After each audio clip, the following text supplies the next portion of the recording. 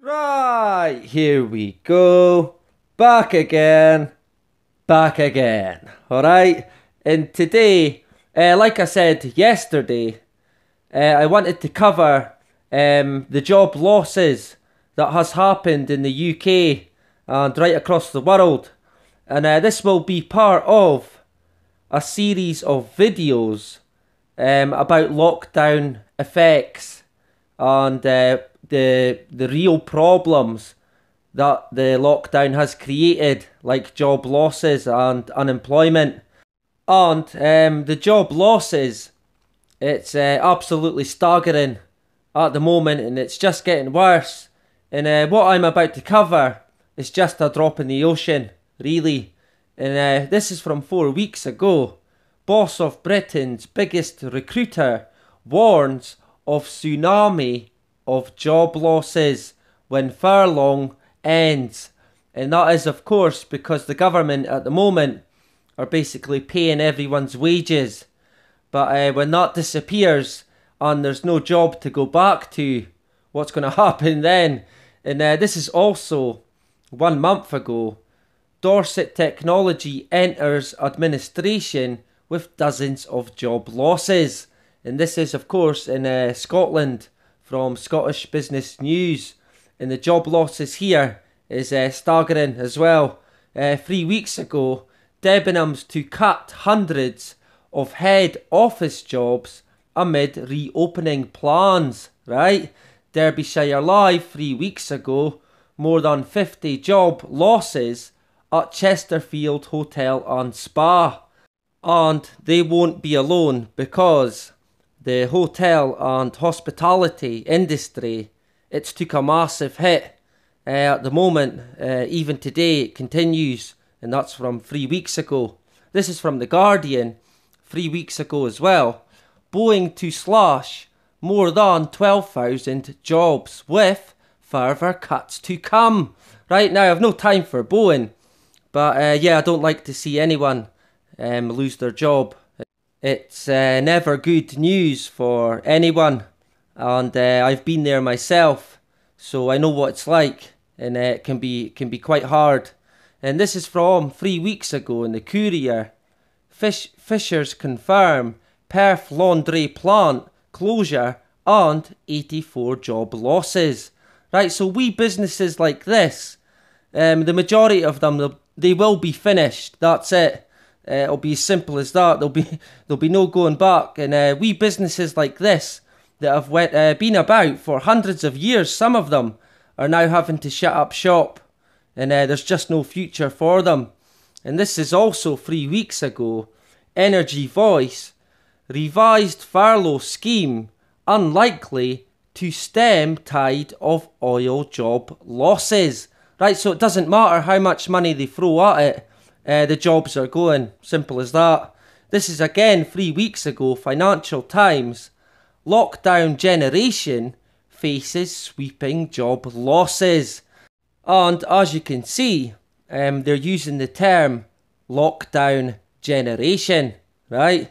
Remember that one. This is from two weeks ago, BBC News. Job losses as US medical research firm closes lab. Right, so uh, these sort of labs that research into things like cancer, well, they're finished. And for most of them, uh, that'll be it. That'll be the end. This is from two weeks ago. PoliticsHome.com. Boris Johnson admits huge, huge job losses inevitable from coronavirus. What a surprise. But it's not the virus, it's the lockdown, of course. Uh, this is in Scotland two weeks ago. Rolls Royce job losses may not be the last. Damn straight. This is again two weeks ago. Lincolnshire Live. Lindum Group confirm job losses due to coronavirus pandemic. Uh, no, due to the lockdown. That's why, right? And uh, this is The Guardian two weeks ago.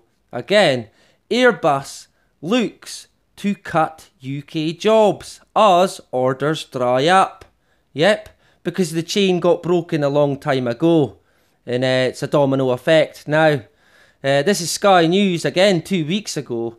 EasyJet warns of more job losses as Ryanair labels travel finished, because that's what it is. Uh, this is two weeks ago again.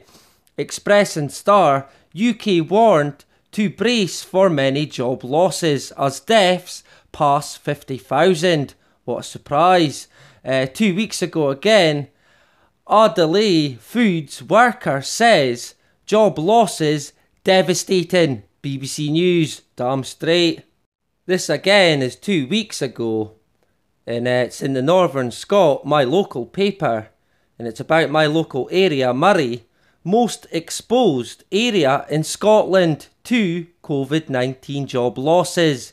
Right, so yeah, unemployment was bad enough here, but thanks to the lockdown, it's fucking 10 times worse. Happy days. And this is from York Press. York job losses at high speed internet provider. Right, and this is Talk Talk. And uh, yeah, they haven't avoided uh, the job losses as well. So there you go. And this is again two weeks ago. Uh, Financial Times Bentley to cut quarter of workforce as UK car sector job losses hit 5,000. Yep. And this is Devon Live. Job losses at Exeter, Exeter Cathedral after catastrophic 800,000 deficit. Yep. So, uh, as you can see, tourism and things like uh, historical sites, uh, they're badly affected at the moment. And like I did say, uh, it will be devastating for people that are losing their jobs and uh, their families. It will be uh, horrendous for them. This is one week ago, York Press again. University acts to shore up finances, including voluntary job losses. Yep, universities as well. Uh, this is again one week ago, BBC News. Tom Hunter, social distancing rules could mean mass job losses. Yep, at least he's uh, telling a bit of truth there. Uh, he is, of course, a multi-millionaire. This is from Wales Online. Cardiff University warns of possible job cuts as it faces £168 million fall in income. Right, so as you can imagine, if they don't make some cuts, then it's uh, they'll have to shut up shop forever. That'll be it, finished. Uh, this is from one week ago, Financial Times. Heathrow to cut jobs as UK quarantine measures compound. Yep, and uh, yeah, the air industry, that's just about done, really. Uh, one week ago, Chronicle Live, nearly 250 job losses at Nissan as slump in demand hits Sunderland plant. So no one's buying cars now. Well, what's the point? You can't fucking travel. Uh, this is five days ago, Insider Media. Travis Perkins to make 250,000 job cuts and close branches. Surprise, surprise. And uh, Travis and Perkins they are a merchant, builder's merchant, of course. Uh, this is again from five days ago. And this is in terms of the US, and it's from Bloomberg Law. One third of US job losses are at risk of becoming permanent.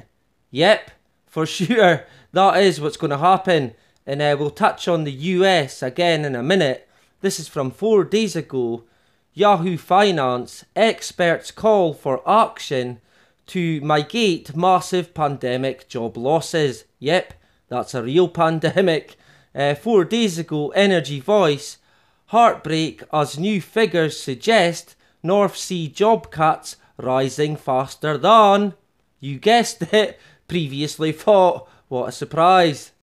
This is from three days ago in the Express. Economists warn of more job losses as 600,000 roles go during coronavirus pandemic. So now we're getting a figure at least. And uh, three days ago again, the business desk, nearly 30 job losses as coach supplier collapses. And uh, this is happening for a lot of bus companies at the moment. They're finished, that's it, it's done.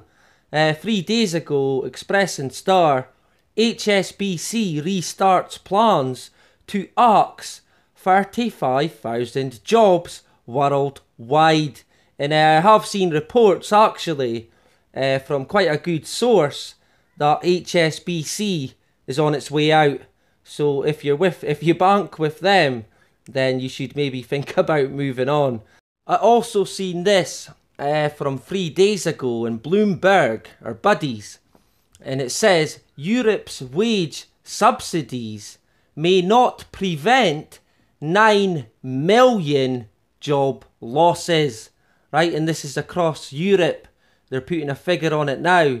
And uh, I reckon in the UK it'll be into the millions as well.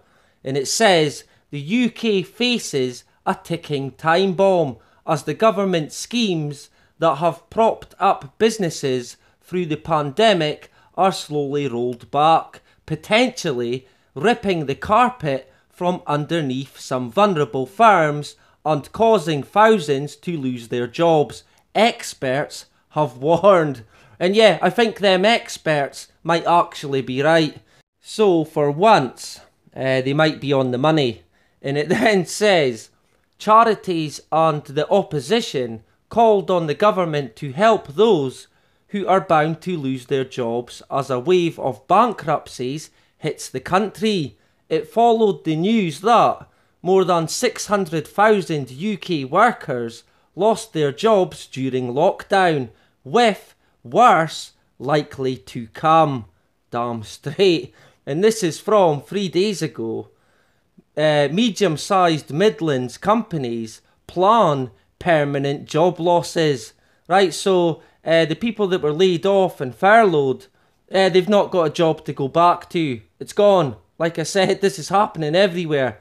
Uh, two days ago, Keighley News, tsunami of job losses coming to Keighley. Right, two days ago. And yeah, there's that word tsunami again. Uh, they sure do love it in the media. And this is again two days ago, Evening Telegraph. Dundee Centre offers support for families struggling with job losses. Yep. And this says, like I said, uh, when people lose their jobs, it can be absolutely devastating uh, for them and their family. For a lot of people, uh, their job means everything. Their whole life revolves around it. So when it's gone, that's it. Uh, they're at their wits' end and they don't know what to do. And uh, yeah, it can be devastating stuff. And this is again from two days ago. Job losses at Newquay Airport as bosses say it will take years to recover. Yep, that is if it ever does recover. And this is two days ago again in The Guardian. The Guardian view on looming unemployment. Red alert. Right.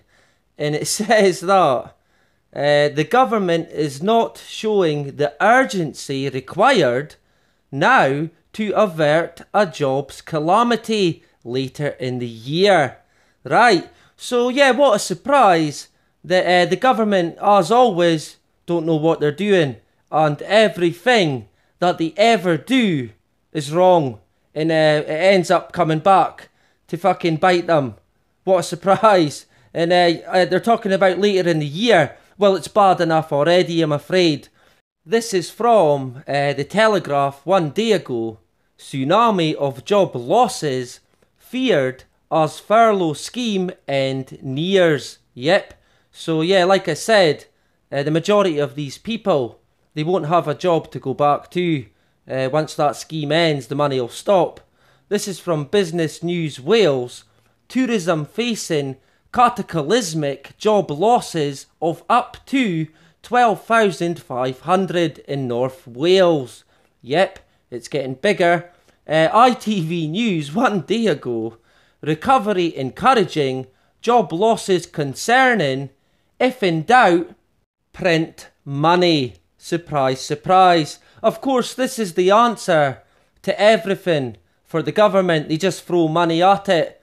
But uh, it's a quick fix and it doesn't solve anything, uh, I'm afraid.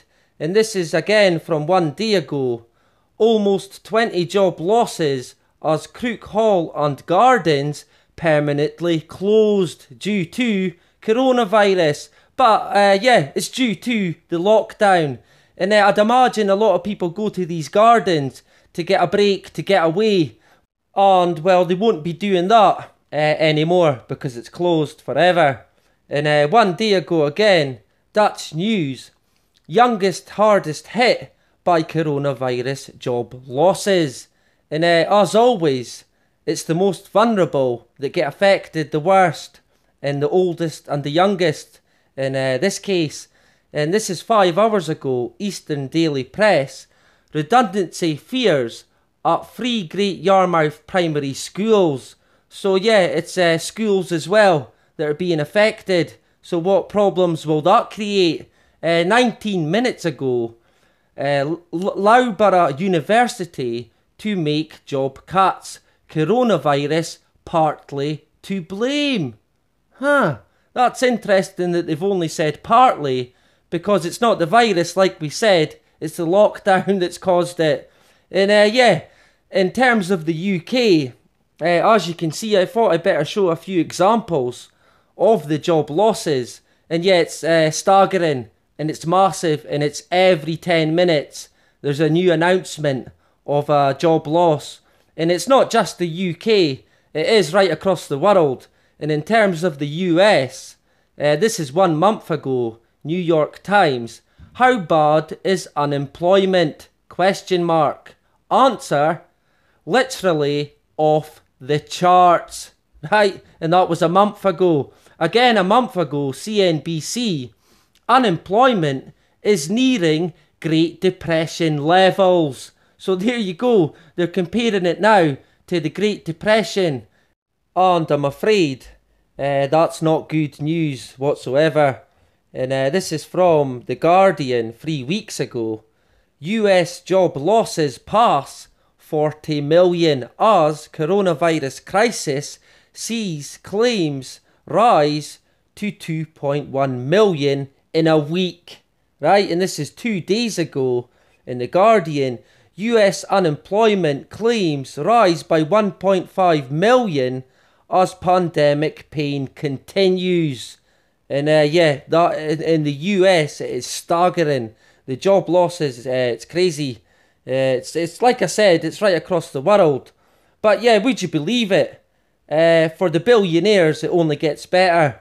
And as you can see here, Business Insider, billionaires gain $637 billion while millions are unemployed. One week ago, so it'll be even more now because uh, the rich are only getting richer and the poor are only getting poorer. That's the way it is, and it's getting worse. And uh, that's just about it for part one of the job losses and unemployment. But I just wanted to quickly cover this. This is my local town, um, Elgin, and this is Elgin High Street here, and it's about this shop, uh, Company Clark's, and it's a shoe shop. And yeah, well, the High Street before the pandemic, right, was uh, on its knees. But uh, the pandemic has been the final nail. And uh, I think it's only a matter of time before this whole high street in Elgin becomes a fucking museum. Because that's the way it's heading. It's going to be a place of the past. Uh, everything's closing. The pubs, the small shops, the small businesses, you name it. Uh, everything's out the window. And uh, it doesn't seem to be getting any better for them. This is where we are today. Uh, this is 2020. This is what it's like. Uh, everything's moving online. Everything's becoming virtual. That is the future, really. Uh, whether or not that we can stop that, uh, I doubt it very much, to be honest. Uh, but yeah, we can try our best, I suppose. And uh, yeah, like I said, the job losses, it is, it's, it's staggering. And it kind of breaks my heart, to be honest, because I've been there myself, so I know what it's like. But that's it for job loss part one of the lockdown effects. And yeah, I'll be back tomorrow with a meme of the week and last week's winner. Happy days. And that is about it. Bye bye.